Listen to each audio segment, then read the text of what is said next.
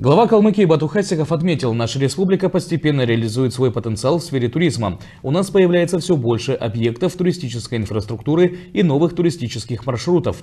Все это хорошее основание для создания территориального бренда. Уже 11 апреля к нам приедут основатели компании «Осмысл», которые проведут первичный анализ существующей туристической инфраструктуры и дадут рекомендации по разработке серии локальных брендов. Считаю, это позволит поднять имидж и узнаваемость региона. И что не менее важно – это привлечет к нам новых туристов и инвесторов, заключил руководитель республики.